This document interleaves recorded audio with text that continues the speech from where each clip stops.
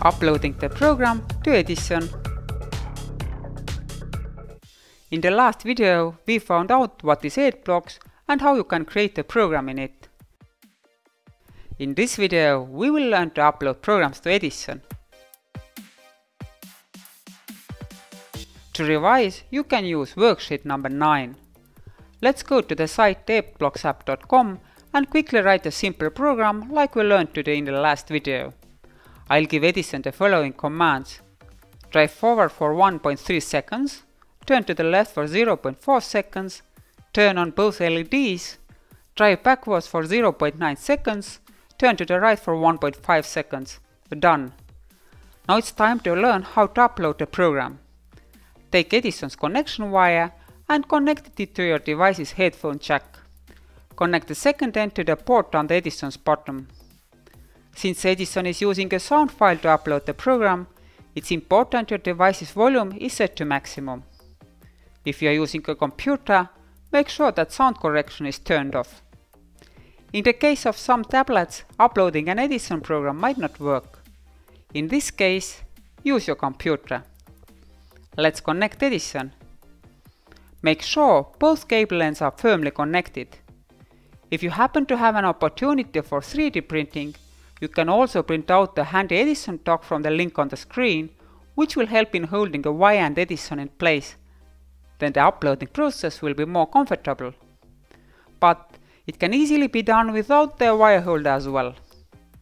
Make sure Edison is turned on and the LEDs are blinking. Now press the button at the top of the screen, Program Edison. Press Edison's round button once. Both LEDs will stop blinking. Edison is now ready to receive the program. A new window will pop up on your screen, which is just a reminder that Edison has to be connected, volume has to be on maximum, and that you have to press the round record button if you haven't already done these things. Press the button on the pop-up Program Edison. During a successful upload process, Edison will make its familiar beeping noise and the successful upload sound.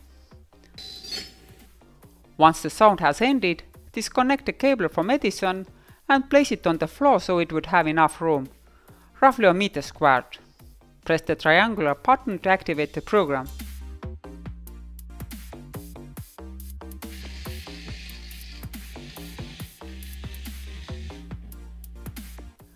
And it worked. On rare occasions, it might happen that the program doesn't respond and crash. In this case, close the program and launch it again, or if it that, that doesn't help, reboot your device. The program upload button also doesn't respond when you don't have an internet connection. If you have a slow connection, then it just takes a while to compile the program. Sometimes the menu bar with the upload program button can disappear, but by changing the screen orientation, the button will appear once again. Let's now also try to upload the demo program. Let's choose Load Demos from the menu. Scroll until you find the demo program, follow torch slash flashlight. The program will get loaded onto your screen. The program is a never-ending cycle where Edison will drive to the left if the light is stronger on the left and drive to the right if the light is stronger on the right. The endless loop is defined by this yellow arc surrounding the drive blocks. You can also use it in your own programs by accessing it from the Control menu tab.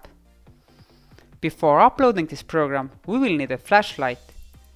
We will also have to remember that since this program runs forever, we'll need to press the square button to end the program. Because a few minutes have passed since I last used Edison, it has gone to battery saver mode, which is indicated by the LEDs no longer blinking. If you have the new Edison, you can wake it up by pressing the triangular button. If you have an old Edison, you will have to turn it off and on again.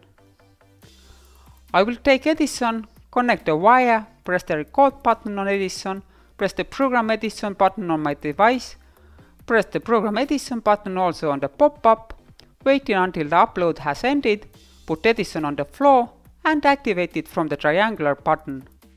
Now it's your turn. Complete the challenge on the screen and see you in the next video. Challenge. Go to the website edblocksapp.com. recreate the code shown on the screen, upload it to Edison and run it. Did the upload work? Choose Load Demos in the menu. Select a few programs in there, try to guess what they do. Then upload them to the robot and test. How many demo programs did you try?